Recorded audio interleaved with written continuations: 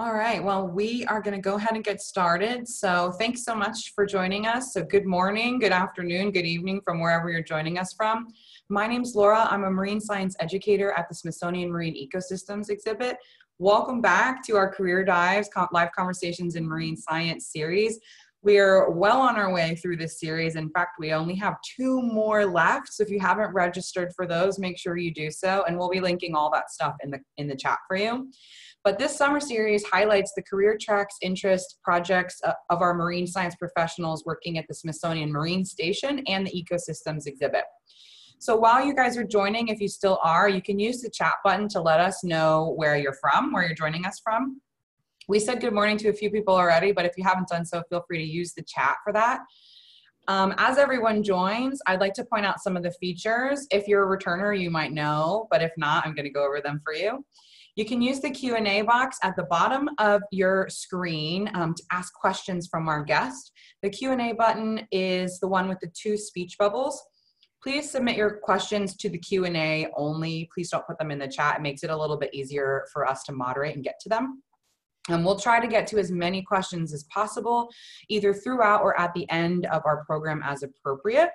Um, please be patient with us. We have had a lot of questions and we've been trying to get to all of them. If for some reason we don't get to your question and you still want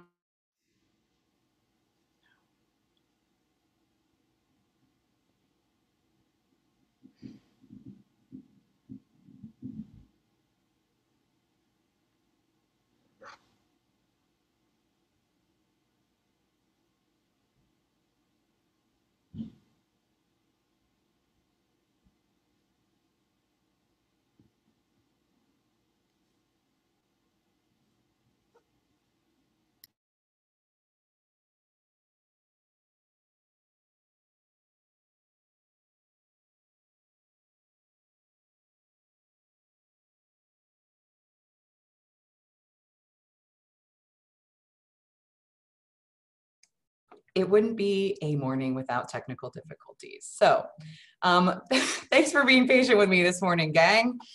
All right, I'm back. So let me find out where I was at. We were just about to get started, I think. So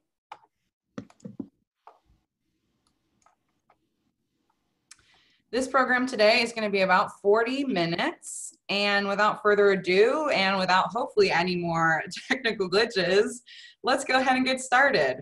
So it is my esteemed joy to welcome Michelle Donahue, um, a freelance science, a freelance science and technology journalist and communications expert. She's the CEO and owner at Michelle Z. Donahue Journalism and Communications and she's a champion collaborator with the Smithsonian Marine Station. So today we're gonna learn how she incorporates marine science into her communication work and how she shares all the cool things that we do at the Marine Station and at the Ecosystems exhibit. So welcome, Michelle. Hey there, thanks so much for having me here today. We're super thrilled to hear your story. I know you and I play a big role in communications and outreach, and I think it's really interesting to, to showcase all the communications and the writing that goes into all the science that we do here. So without, I guess, further ado, it's a lot, right? A lot. so without further ado, let's go ahead and get started. So Michelle, your career is a little bit different than some of the careers of our past guests. Can you tell me about how you found your passion for journalism and for communications, and how does that translate to include marine science? Well, um, it's been a long and winding road. I guess that is my always takeaway is that there's been no direct path to where I am now. But um, how I found my way to journalism was in college. There was a moment, which I will get to, I guess, but um, there was a particular moment that kind of crystallized why, how I, I like I could see my future play out at that moment. Um, but if I could, can I go ahead and start sharing my screen? All right, cool. Let me share my screen go. All right, can you, there it is. Can you see it?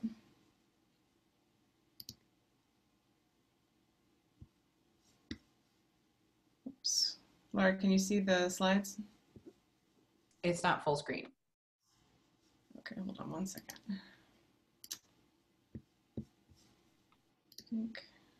Michelle's using two monitors. Two monitors. All right, let me try this again. Give us one second, guys. We're going to get into it. Okay, full screen. Full screen. It is full screen. Let me pull it over. Dang it. I did this exact same thing 15 minutes ago and it's not I working. know we did practice, I swear. Let me get out. Sometimes when you have the two different monitors, it'll like take one monitor and not the other one. Shoot. But don't worry. Ah, Go ahead and share your screen and then just hit from sh- slideshow. It's a technological morning. Okay, what do you see right now? So I see just the the like the basic PowerPoint. If you can you hit um slideshow and then from beginning? Okay, Perfect. how's that? All right, that didn't do that earlier. I did the exact same thing and I guess user error. Anyway, um, here we are. So cute kid picture, obligatory to start. Um, I was a, a reader from a very early age and I have to give a lot of credit to my mom because she worked a lot with me when I was teeny tiny. And um, by the time I hit kindergarten, I was reading full on books. And there were these two in particular that I remember. They got um, this packet, or I guess the, the collection of Time Life Nature, Nature Library. And the two that I always went to were The Universe and The Fishes. And I just dug these up on the internet this morning.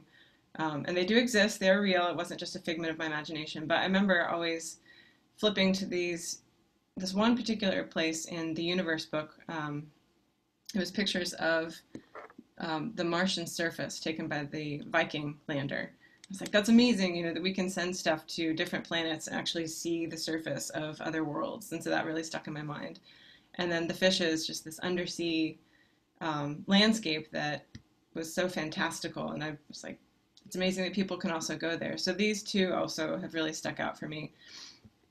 Um, so I've always gravitated to the natural world and you know how things work, and always had questions about what things are and how they work, and you know what kinds of questions people are asking to learn how everything works better.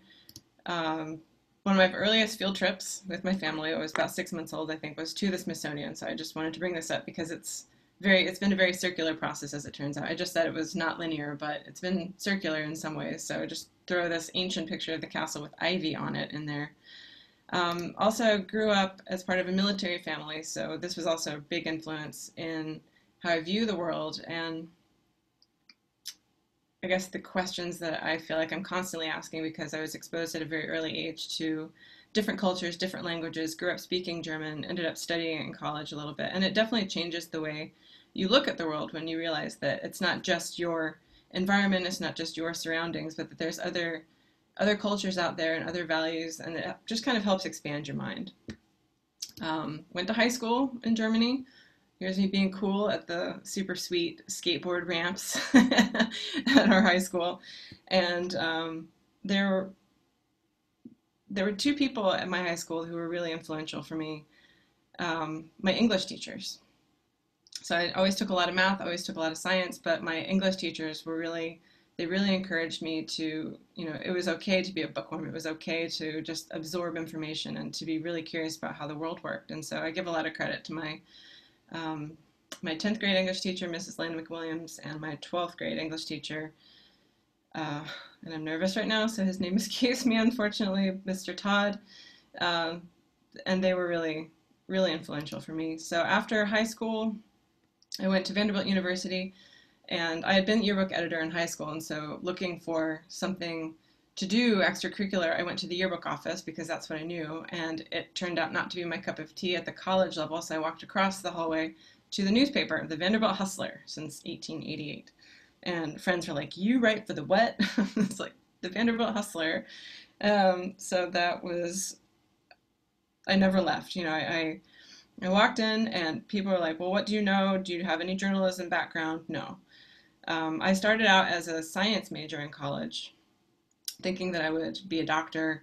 And like I said, in high school, I'd done a lot of science and was actually offered um, a fairly healthy scholarship to pursue engineering. And it just didn't, I just didn't see myself doing it. It didn't seem like something that I would be good at. It didn't seem like something that would be safe for other people if I pursued it as a career. So I um, went to college, tried biology and chemistry, and it worked, but I was too slow. You know, there's the freshman weed out courses that you learn a lot, and they're these huge courses, and you have to really just know your stuff, and you have to know it quick. And I just didn't have the chops for it at that time. So I switched my majors, my major to English, because I'd always had this interest in writing. Um, and then at the newspaper, I was able to really start learning a different way of writing. Um, what else? Here's a little article I wrote in 2001. The big news at the time was that wireless came to campus. So I got to write all the hard hitting news. And um, this was my senior year, 2001. And at this point, I had had this experience that I mentioned earlier where I was sitting in class and every Thursday, people would get the newspaper and they would read it and kind of talk about what they heard in the paper. Well, I had a story in the paper that week about a parking lot that was scheduled to be, um, I guess they were going to pave over this lawn. And the campus, the Vanderbilt University campus, it's an urban campus. It's very leafy, it's very green, but there's not a whole lot of open space. And so students are really protective of their open space so they could, you know, go and lay and study or just be slugs or whatever. So when people read the story about this lawn that was going to be paved over, they started talking. They're like, this is ridiculous. I can't believe the university's going to let this go forward. And they got really aggravated about it. And, and the um, university ended up not paving over this lawn. And I had this, this realization. It's like, okay, it was this, it seemed like a silly little thing. But it, it turned out that people really cared about it and it mattered you know, just seeing this little tiny story in the campus newspaper, it made it made a difference to to somebody's a bunch of people's lives and the quality of life. Um, and then there was another moment during a homecoming parade that year where uh, there were all these floats that were going on all around the campus, and the LGBTQ float, when it went down Frat Row, when people were throwing candy, when this float came by, um, people started throwing rocks. And the president of this organization came into the newspaper one day and was telling us about this and we could not believe it. And so i said i'll you know i'll take it on. I'll see if there's if i can get the president of the frat to talk. And it went nowhere. It went back and forth. And then finally uh, they got in touch with me and i started talking to the guy and he's like you know well we can talk about this but uh, none of it can be published and i said well but this thing happened and it was wrong and and you should be held accountable for that and he hung up the phone. We wrote a story about it because the frat wouldn't comment. And I got um, hate mail. I had people sent me hate mail in my P.O. box. I have got a dead mouse. So that was fun and interesting. Um, but it actually was really instrumental in getting me my first job. So actually, this was also instrumental being a typo queen. So if you guys hopefully can see the problem here, yeah, if you guys can spot the typo, comment in the chat. This is my life. I see typos on billboards. I see typos on menus. It's kind of irritating to friends and family. It's but it's like a it's a sickness. I can't help it. Elaine but, got it. but this and the Dead Mouse helped me get my first job at a newspaper. And I should say, my senior year, I applied for job after job after job, dozens of jobs, and I collected rejection letters and no thanks, thanks but no thanks letters from editors and newsrooms all around the country. And I wish I'd saved them, but I had about, I think about 60 of them. I applied for jobs for six months at the end of my senior year and got this job in Reston, Virginia with the Times Community newspapers kind of by chance. So it was through a friend. I called him up. I said, hey, I'd love to come in for a tour of the newsroom. And this friend introduced me. And so I went in and sat down. They're like, oh, you know, we don't have any jobs. And so we got to talking and I told them these stories and they're like, you know, actually we have a job on the copy desk that's coming open. And the copy desk is where you, you proofread all the newspapers. You make sure that there are no errors, that there are no commas and apostrophes in places where they shouldn't be. And so that's how I got my first job at a newspaper in 2001. Um, my first day as a reporter and with full healthcare insurance was September 11th, 2001. That was my first day as a newspaper reporter. So it was uh, definitely, you know, out of the frying pan into the fire. I spent a couple years at this newspaper, um, and on the left you'll see this is just a, a, copy of the front page. It's now out of business. It's since been it was sold to the Washington Post Group, and it's been shut down um, in its former incarnation. But also on the right, I just got a bunch of clips, so I was able to write about uh, county government and rail development and this this story that you can see here bar raids prompt action there was they were arresting drunks in front of bars and it seemed like a sting to the community and so it got all kinds of people again to come out of the woodwork and talk about the laws and the rules and how they were being enforced and it, it prompted this whole community discussion about um, well a community discussion. So it brought a lot of people out to talk about whether or not this was working and if it was right and if any changes needed to be made. So again kind of a, a cool example of a small seemingly silly thing that led to a lot of people having a discussion about things that were going on in their community and I should say that this is one of the free newspapers that shows up at the end of a driveway. So if you still have a community newspaper in your community, please read it. Please look into it. There are people who are who are going out and they are sitting through these meetings and they're doing the hard work so that you all understand and know what's happening in your communities and how your tax dollars are being spent and how your laws are being made that affect you.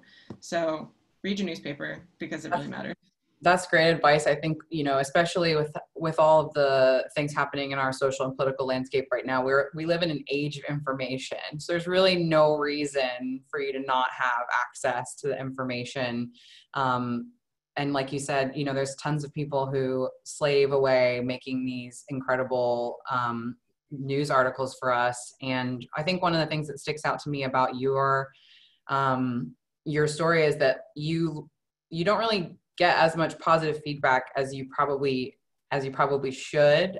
I mean, you occasionally overhear um, people saying like, "This is a really cool article. I never thought about it," and then you got so much hate mail and so many negative reviews. But I think, and I mentioned to you that this to you yesterday. Out of every one hate mail that you received, there was probably five other people in the background who were like, felt very seen by what you wrote and really appreciated that you that you had the courage to stand up and say like this isn't right and it needs to be addressed. And i really admire that about you as well.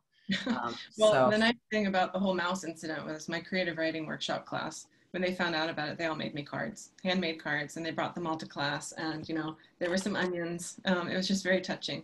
But yeah i mean you don't you don't do this you don't certainly don't do this job because you want feedback. Um, i would like feedback. Everybody loves feedback when they get it. Um, in journalism, they say if, if nobody's happy, you're doing your job right. So um, it's nice to hear from people about how, you know, how it affects their lives, but you don't, you don't, you don't hear it very often. I mean, the reason I was interested in doing this was because it seemed like it, it could make a difference that, you know, the free press is one of the, the pillars of, of our country. And I was, I felt really privileged to be able to be part of that. And even in a tiny way, as part of a tiny community newspaper outside of Washington, D.C.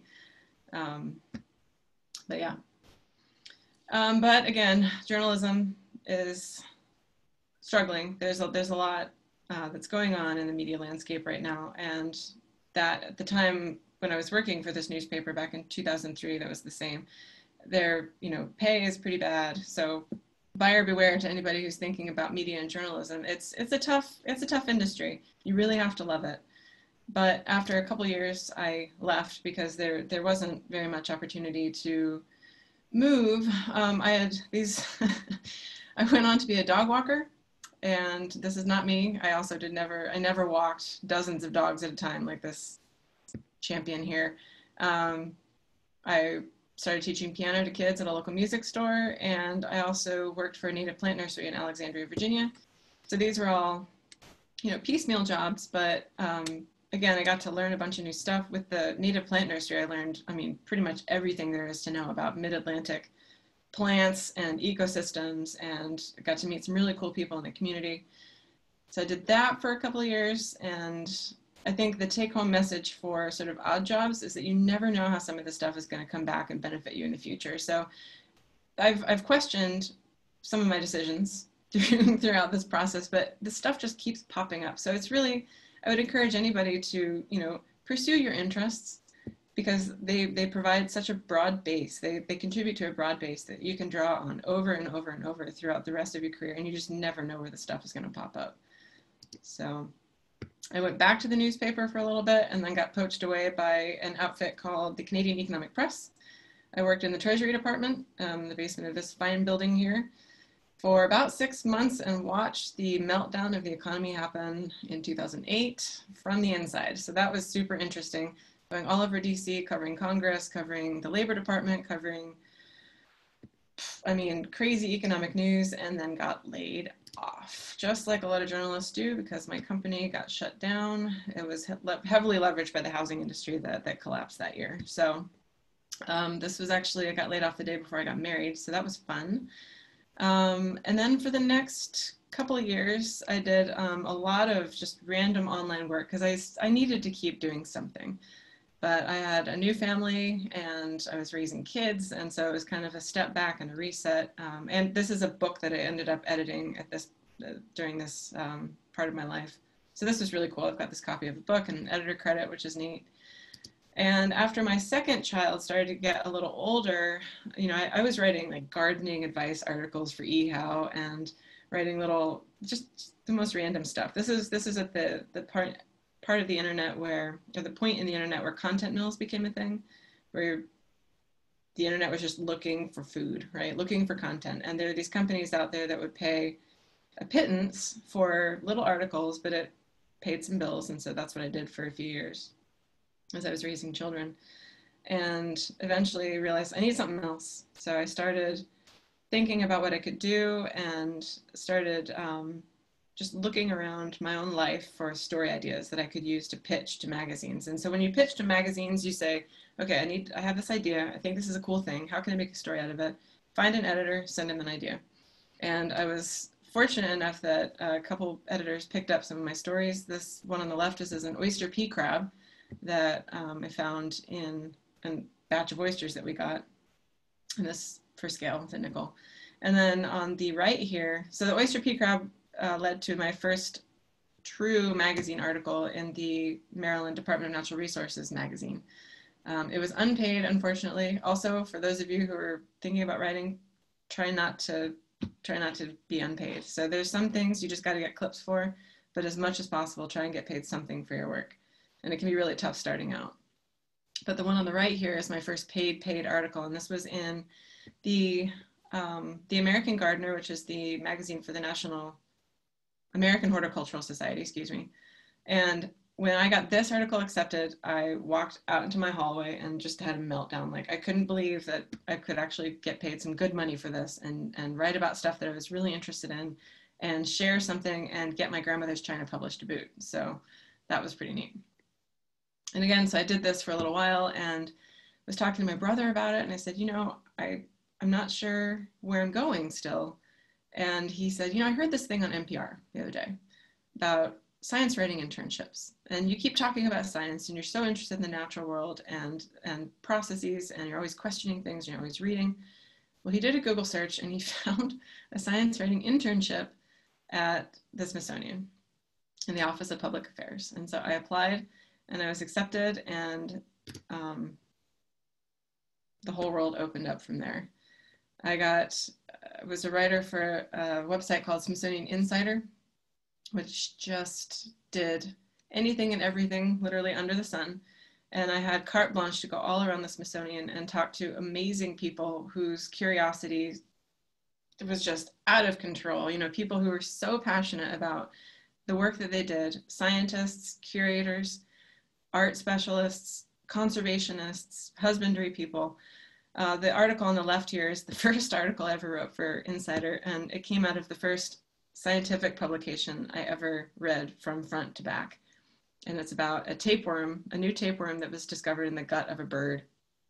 And my my editor, God bless him, John Barrat, handed me this paper. He's like, "Hey, there's this new tapeworm species. Why don't you write an article about it?" And it didn't come together until I went to the the curator's office, Anna Phillips, and her office was filled with invertebrates, you know, tapeworms, and we were talking about our favorite flatworms, and she said, I couldn't believe you have a favorite flatworm, and uh, jars of tapeworms like all around her office, and it was just, I felt like I had finally found a home.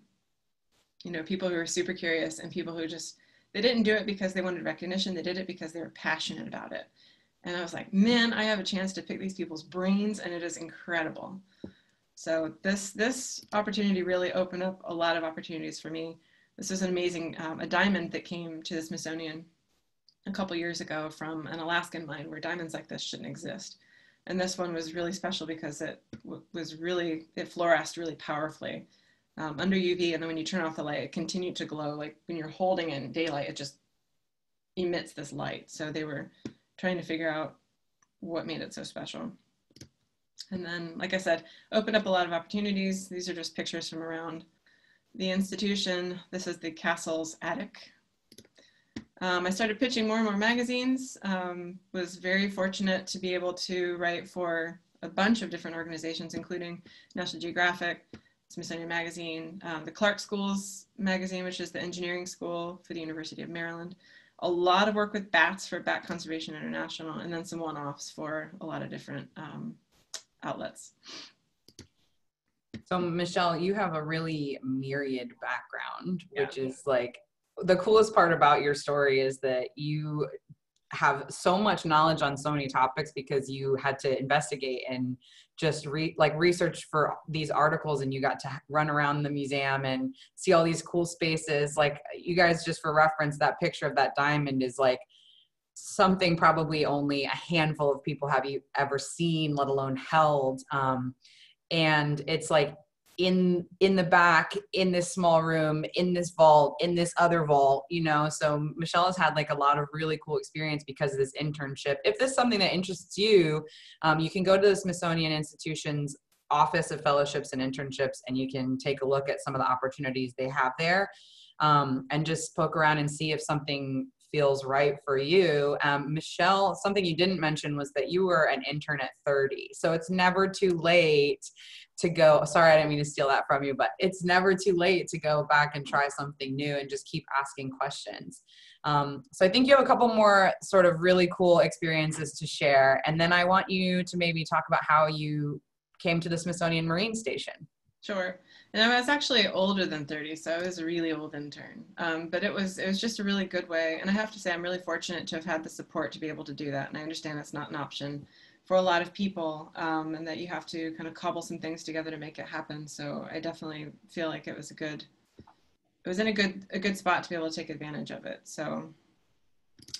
Um, just a couple other. These are just some other things so people can see. Um, I collect my press passes and press badges and conference things and just some of the um, magazines that I've saved from the experiences. I also get a lot of people asking what my workstation looks like, so I just want to throw this in there. What, what's life like as a freelancer? You must go on location, so many cool places on assignment. Is actually, it's like, I do let my fingers do the walking. There's a lot of traveling from my desk, and this is my desk here in Maryland, um, and then I keep some touchstones, I call them, around my office that just like to look at for inspiration. This is the glamorous life of a freelancer, guys. If you work from home, get cold in the wintertime, uh, people taking pictures of me at home. That's always great. But yeah, like I said before, the Smithsonian opened up a lot of opportunities and I was able to write for a bunch of different offices around the institution and eventually ended up coming down to the Marine Station. I pitched a story to my boss about the Marine Station because, uh, you know, he was saying, try and you know, dig up stories from places that people don't hear from very often. And so I, I, learned about the Marine Station and saw that they had a science festival coming up. And so I suggested, why don't I go down and check it out? And he said, okay, sure, I'll go down and check it out. And um, the rest is history, I guess. Um, so the first time I was down, I wrote a story on the science festival. And a couple years later, um, the director, Valerie Paul, invited me to start writing for the station's um, newsletter and outreach, and that's where I am now. So that's a big part of what I do on a day-to-day basis now. So uh, just, I guess I'll pause there if you have another question. Yeah, I was going to say what's really cool is that you've been in science writing or in in writing from basically I hate to say it like this, but like the inception of the internet all the way through to now what we look at as like very heavy social media communications on um, all of those platforms and channels. And i think what's really cool is that that you've been there for the whole journey. And especially as a woman in this field you know you've got to experience the the whole gambit of in press in paper in magazines to just transitioning to a lot of the work that you do with us is all digital and online yeah. And again, a lot of that, the media background has definitely helped. So a lot of what I do with the Marine Station, I'm, I'm still writing a lot, but I'm also uh, you know, just talking to people and and building relationships and making connections and hunting down stories in lots of different forms. You know, there's print and there's words, but there's also there's video and there's audio and there's social media and there's online and there's you know amalgamations of things that that become stories. And there's there's kind of this concern in science about how to communicate. You know and this is something that pops up among professional science writers a lot because many of them are from scientific backgrounds and not from media backgrounds or journalism backgrounds. But you know how do you how do you take information that's dense and complex and is presented in a way that's basically inaccessible to the lay public. How do you how does a scientist communicate that? You know how does a scientist who has no communication training or understanding of how a media landscape works take this very important and hard earned work and make sure that other people can can access it but also understand why it's important even if it doesn't you know even if there's no personal connection to that individual? So i feel really fortunate to be able to kind of have a foot in both worlds you know to be able to read science and scientific manuscripts but also kind of understand how other people might perceive those, those that work as being important or relevant to them. So it's always kind of a, a, tension there. Um, it's kind of, I mean, for me, it's highly interesting, but also it's a craft. You know, you, you keep you keep honing it.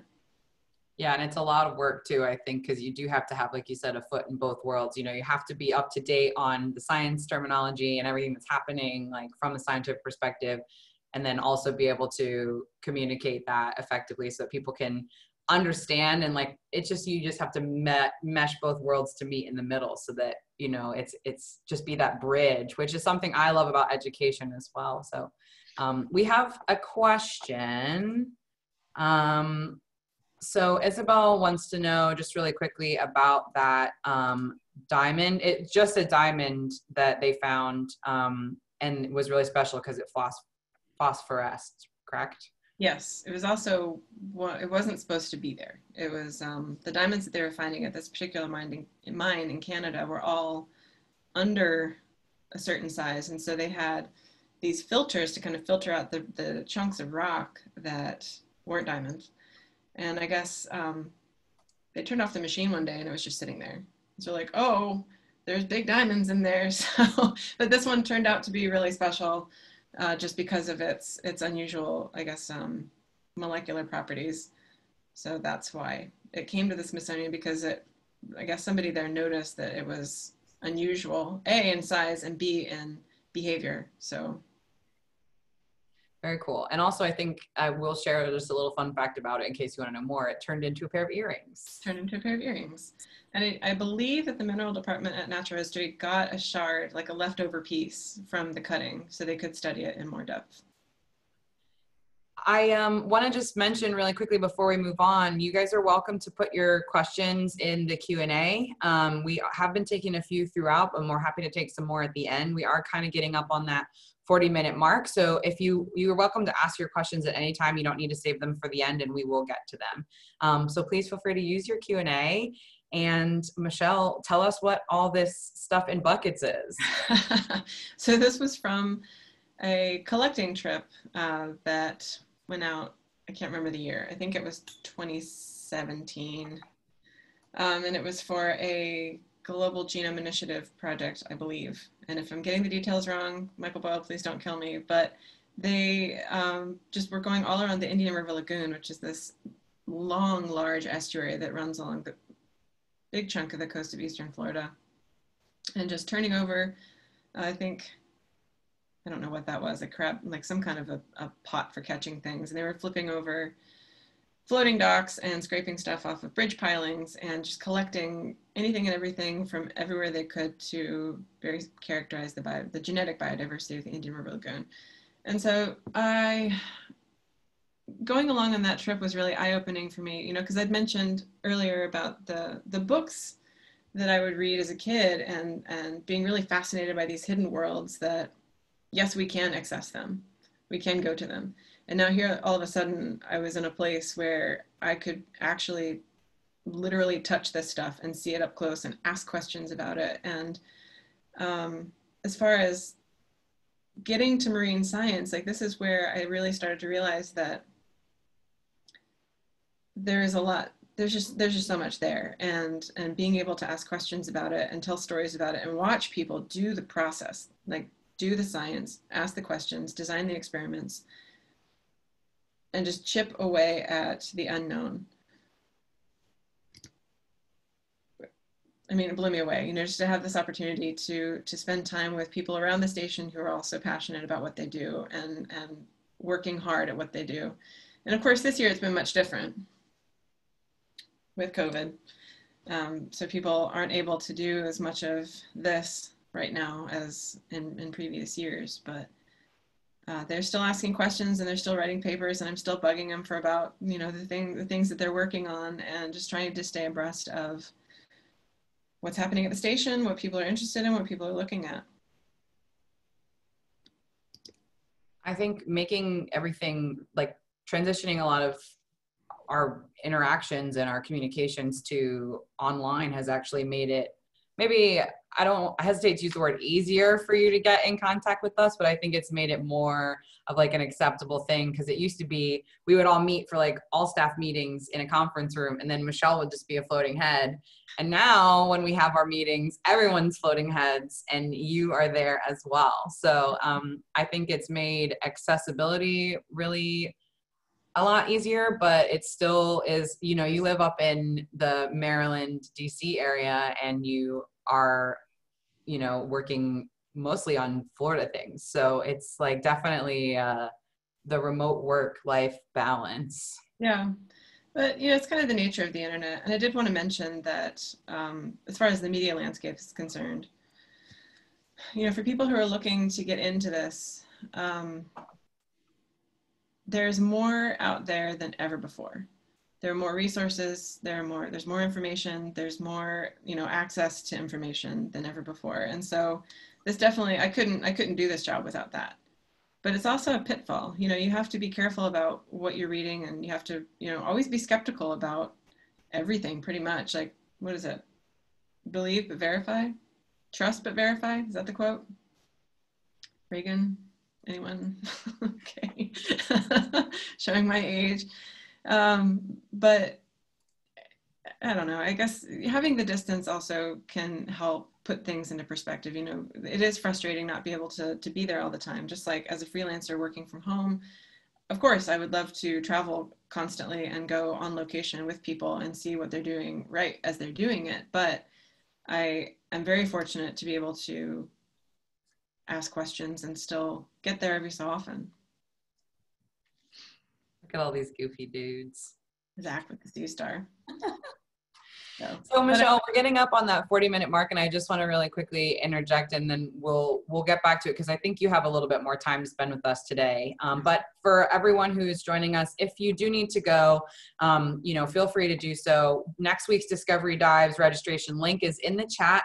We're going to be um, interviewing Holly Sweat, an ecologist here with us.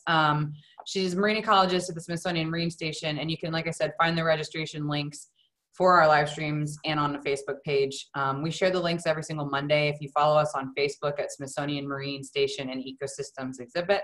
Um, but we'll keep taking questions. I've noticed a couple really good ones come through, so thank you guys for asking those.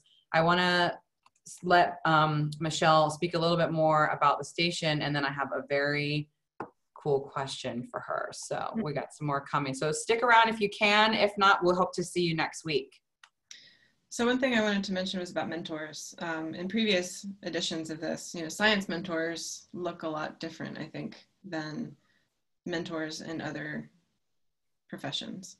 Um, and so my mentors have come and gone, and they just pop up randomly. But I just wanted to give a shout out to Sherry Reed, because uh, this woman um, is incredible, and she was someone I didn't expect to find um, at the Marine Station. And so she became a very dear friend and was very encouraging of my interest in diving. And um, that was something that was supposed to also happen this year was more dive training, but got scuttled. So I just wanted to give a shout out to Sherry because she was the thing about freelancing and journalism is you you find you find people and they come there's a lot of people that come through my my week when i'm writing articles. You i'll interview scientists i'll write an article and then off it goes. And I, I may never talk to them again.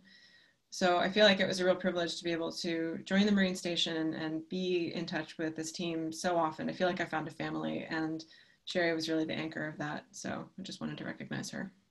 Yeah, I never got to meet Sherry, but her legacy lives on, and she was an incredible, incredible woman who touched a lot of lives. So I think it's definitely, she, like, I'm, I'm really sad I never got to meet her, but um, she, like I said, her legacy lives on. Hey, you had a cool question. Hit me. Okay, yes, sorry, thank you. Um, so you were awarded a National Association of Science Writers Science and Society Journalism Award for one of your articles that got featured in the New York Times. Um, and that article was called In the Land of Quakes, Engineering a Future for a Church Made of Mud. What was the impact of your article and how do you feel that science communicators can transcend like screen and paper and have like really significant impacts with their work? So this one, I mean, to answer the second the second part of that question first, um, you know, telling the human story, I think really is the unexpected dimension of science. I think a lot of the, the, the science stories that speak to me the most are the ones that, you know, the science is the reason for the story, but the people are the, are the heart behind it. And it's one thing that I always it drives me and i try to include that whenever possible and certainly it's part of my research like understanding people's motivations and their passions and you know the why they do it kind of gives you the reason for caring right? Um, and this particular story was super cool and again gobsmacked by the award. Like it was amazing that that was you know a, a great thing um, but this story was amazing because again i did it from home i didn't do this I didn't go to the Andes for this. This was in South America and just learning about how important this church was. This is a, a church made of mud bricks, made of adobe, um, that was under a rest, in part of a restoration project run by the Getty Conservation Institute. And learning how, oh, well, okay, so to back up to the science part of this was uh, mud brick is one of the most common building materials in the world still. Something like 50% of Earth's population still live in earthen structures of some kind, but it's not characterized as an engineering material, not like steel, not like concrete, not like glass. Uh, it was never, never tested, never, its limits were never um, counted up. And so as part of this project, that, that process was done. And so again, the I guess the work can be used to make earthen structures safer around the world because many of them also occur in, in active seismic zones. So this story was cool because not only did it restore the heart of a community, but it, it gave them tools and the tools that they wanted, the tools that they asked for to, to you know, safeguard their cultural treasures, the heart of their community, but also as a and um, provided a knowledge base that really could benefit people all over the world. And just being able to share this, you know, crack the door into this part of the world for other people to help them understand. Again, like I got to live in Germany as a kid. I got to see different things. And any any military brat who's who's spent time in another country or anybody who's lived in another place knows that life is different in other places. But that doesn't mean that it's any less important or valuable. And so just being able to kind of share how important this place and this material was to these people and the work that other people were doing on their behalf. Um, that was a, it was a real privilege just to be able to tell that story.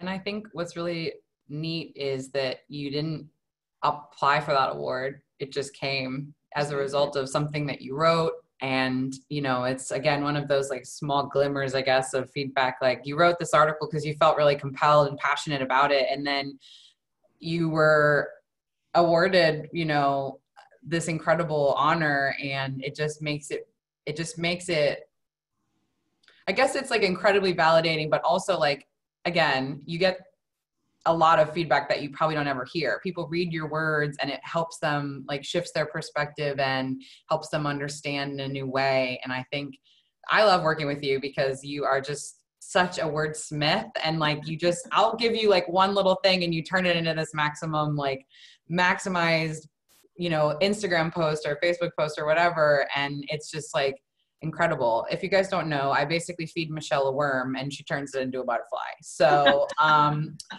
I love it, and I think it's a really unique. It's just it's just a super super skill that you have. You know, not everyone can can do that. I I just spit worms and you have all these butterflies. So um, I'd like to take some questions from the audience now because we've had a couple really good ones. Um, so Sharon asks, how did you juggle your career life with your family life? And also, when did you start diving? When did I start diving? Is that the second question? Um, last year I was certified for open water. So it's been a year now. Um, how do I juggle career and family? I mean, this is like the ongoing the ongoing struggle. It's it's easier now that my kids are older, but when they were young, I would literally get up at four in the morning and just to make time. This is actually Laura a story I wanted to tell you yesterday. Um, there's this movie called The Girl with the Pearl Earring, and it's about ooh Vermeer. Ah, I hope it's Vermeer. Anyway, a Dutch artist, and he is painting, he wants to paint this girl who's played by Scarlett Johansson. And he comes to her and says, I need you to be in my studio and at this time. And she's like a scullery maid, right? She's like, I have no time. And he says, make time. And so I realized when my kids were little that if I was ever going to get anything done, I had to make time. And that meant getting up at four in the morning for probably a couple years until I would really establish myself, you know, working during nap times, working in the evenings, working whenever I could. Um, and then as a freelancer, also just working on weekends because international calls sometimes don't match up with the US work week. So just making time and, and sacrificing, I guess, sleep sometimes, unfortunately. So no work-life boundaries for you at the beginning. Nope. work is life.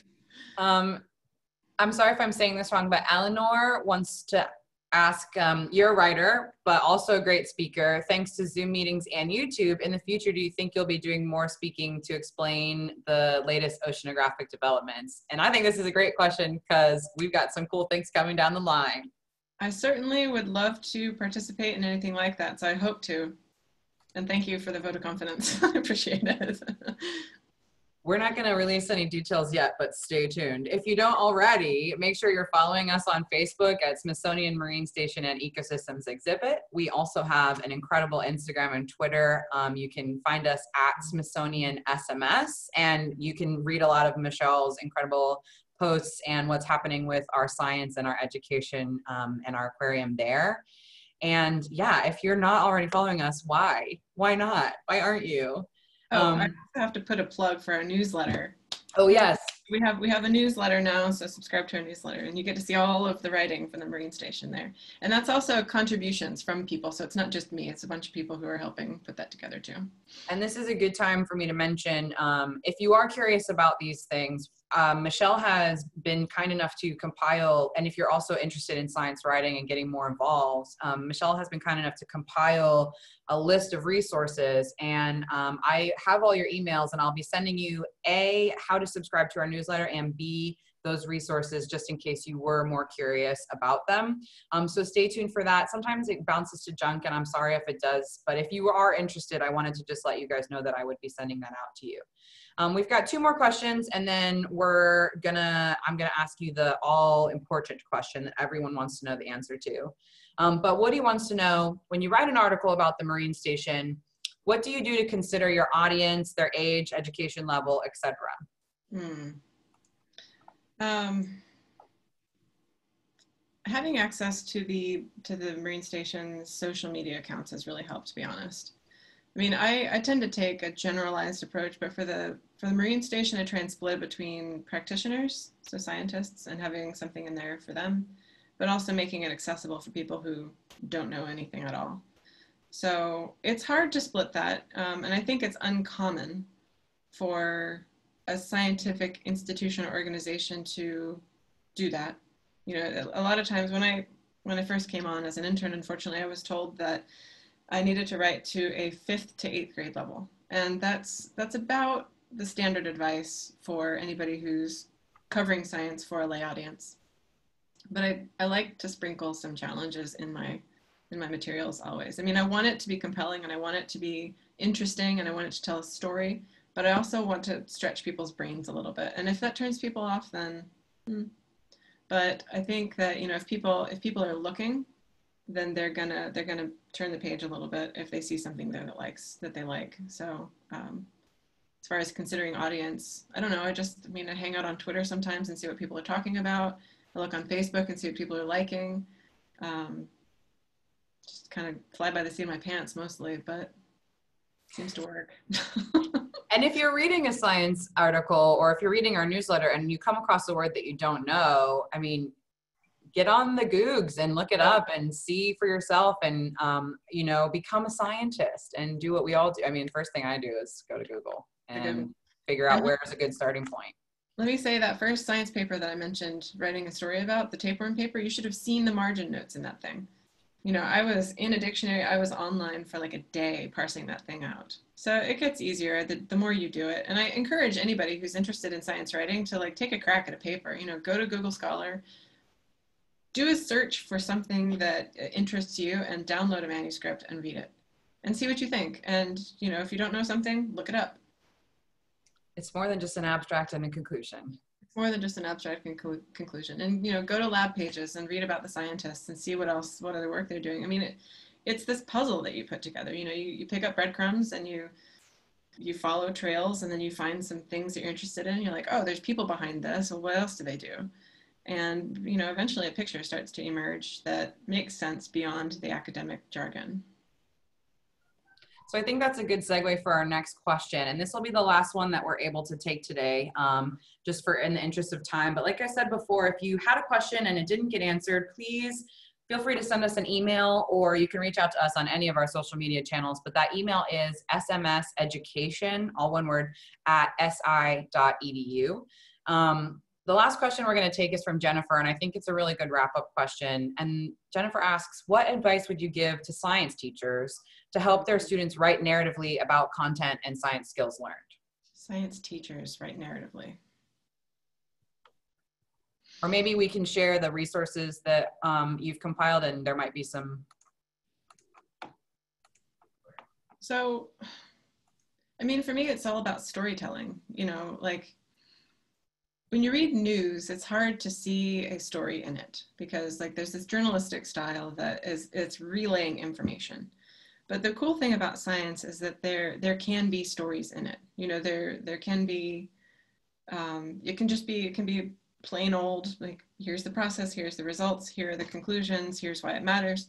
But you can also tell you can kind of dig a little bit deeper. And so if if you're working with like I don't know what your grade level would be, but say fifth grade, and you can talk about a study and you ask, well, why did they do this? Why are the scientists interested in this? What gaps are there that prompted them to start asking these questions? What's their personal interest in it? You know, I mean, these are the questions I ask because that's what makes the story, right? The human dimension. And so I think that you can you can take any creative writing rubric you want and plug in some science pieces and you, you can get kids starting to think about science in that way. It doesn't, I, you know, this is kind of one of my frustrations with education is that things seem to be so siloed when, you know, you can use story, you can use science to tell stories um, through creative writing techniques. And I mean, that, that was my background. And so that's kind of my approach anyway. So I would encourage you to just I don't know, find find something that seems like it would lend itself well to telling a story and then pick it apart.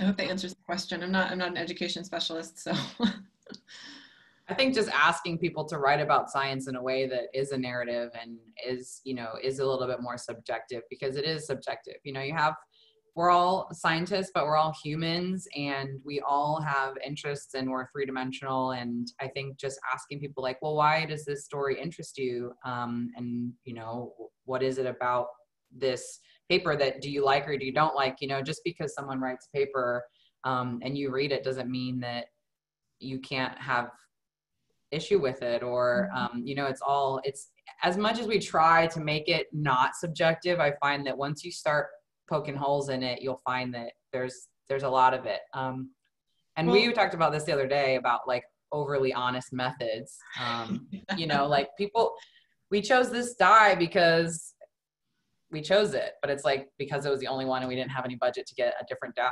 You know, it's just like stuff like that. And yeah. it's it's interesting. Like I said, once you start like poking holes in it and looking closely, you can you can start to see that. Well, and the elements themselves can be characters. You know, like so the diamond, for example, was the star of its of its show. You know, you tell you can tell a story around the element under study. You can tell a story around the person who's doing the study. You can tell a story about the place where the story where the, the work is being done. You can tell a story about the failures that happened on the way you know because science is iterative. And I, and I find this also to be just as fascinating as any results that come out of a study was that oh man you accidentally killed your entire sample? Eee. like let's talk about that you know? It happens. and this is and this is something that I, I feel is really lacking generally is an understanding that science isn't a fixed point. It isn't it isn't final. You sure we have gravity that keeps us to, you know stuck to earth but for the most part, science is iterative. You know, it's it's the it's the process of discovery, and that means sometimes saying that you screwed something up. That means saying that well, that's what we used to know, but here's what we know better now. And so, you know, science communications, I feel like this is the whole purpose, not only communicating results, but communicating process. So I did want to add um, one more thing to people. Keep asking questions, folks. Like keep reading, keep uh, putting yourself in places. You know, if you really want to do this, like walk into places, start asking questions.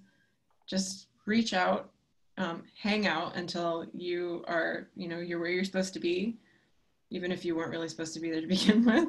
And I don't know, like if you're uncomfortable, you're, you're doing it right.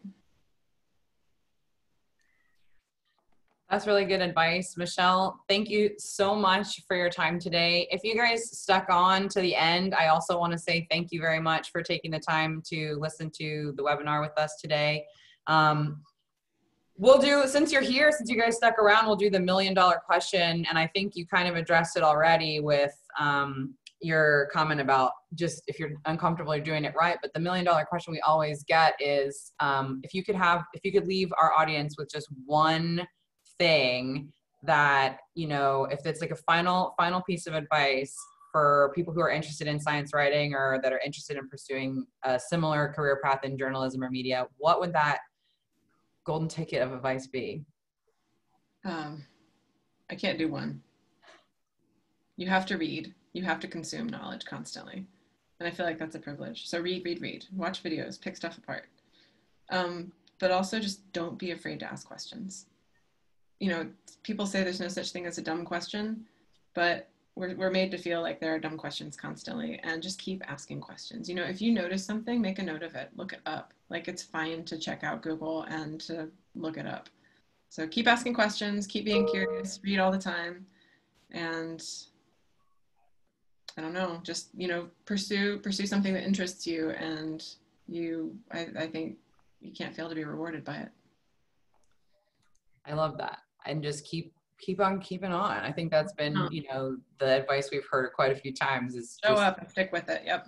Yeah, show up and keep asking questions. Like if you have a question, if you have that question, probably 10 other people have that question, but they're just too shy or afraid to ask it.